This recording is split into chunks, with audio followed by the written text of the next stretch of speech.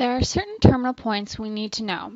We'll start with the terminal point determined by pi over 4. So we know that pi over 4 is halfway between 0 and pi over 2.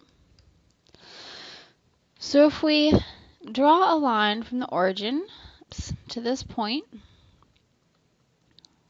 that's a straight line, and then we drop a perpendicular down to form a right angle, we have this triangle. Okay, so let's draw this triangle over here. We know that this is a right angle. We already established that this angle right here is pi over 4. And what's pi over 4 in radians? Well, let's see. We know that a right triangle is 90 degrees.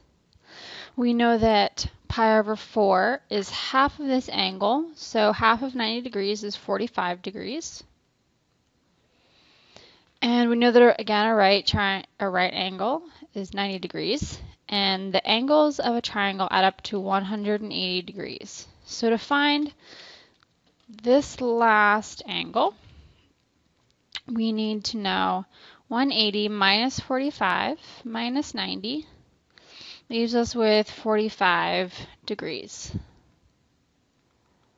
Okay, so now we can determine what, if we can think of this as, remember, this is the x value, the length of that. This right here is the y coordinate, because we go over x to get to there. We go up y to get to there. So we need to know this length and this length, okay? So using this triangle, how can we determine those lengths? Well, if this angle and this angle are equal, that means that x equals y. And so using the Pythagorean theorem, we know that the hypotenuse, let's call this h, we know that x squared plus y squared equals h squared.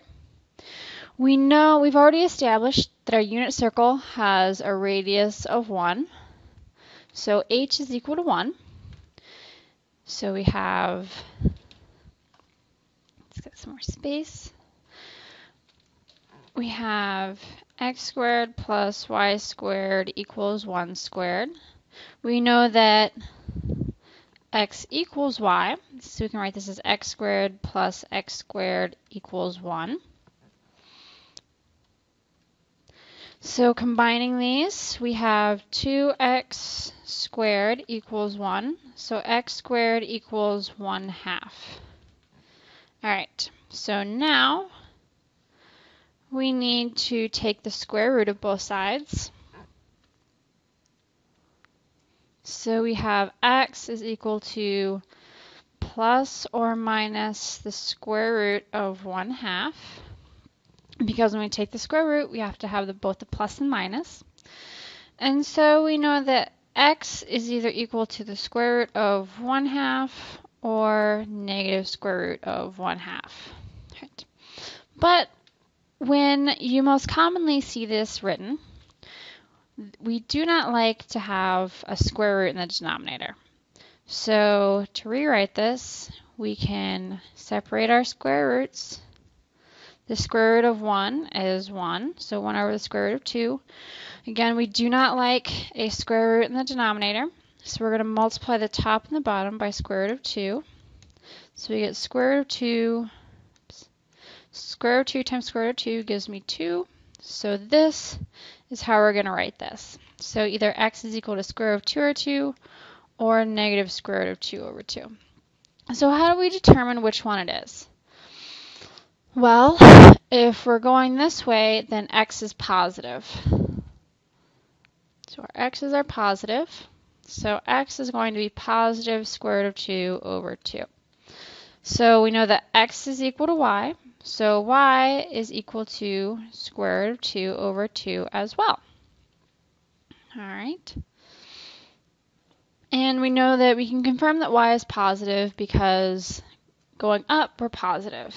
So the point, the terminal point here is square root of 2 over 2, square root of 2 over 2.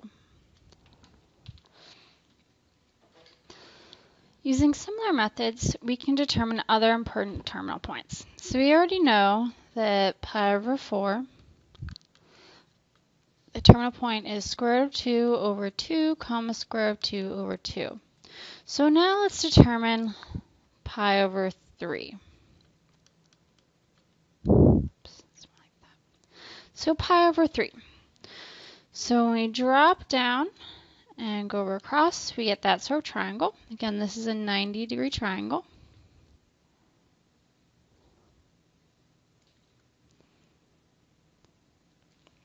Okay. And now we know that the radius is 1. And we know that pi over 3, pi over 3 is what? A third of pi. Pi is 180 degrees divided by 3. So that gives me 60 degrees. So this one is 30 degrees. Okay. So if this is our x, remember we go over x and we go up y to get to our point. We need to determine what x and y are. We know x squared plus y squared equals 1 from the Pythagorean theorem, but then we get stuck. So our trick is we are going to turn this into an equilateral triangle. So we copy this same triangle over. So we have 30 and 60. So now this whole is 60 if we're looking at the bigger triangle. We have 60, 60, 60. So all the sides are the same. So this length is length 2x. This length is 2x. And this length is 2x. But we already know that that side is 1. So we know that 2x equals 1.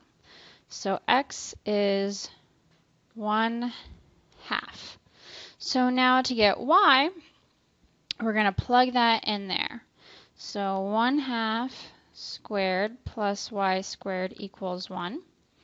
So 1 fourth plus y squared equals 1. So then we get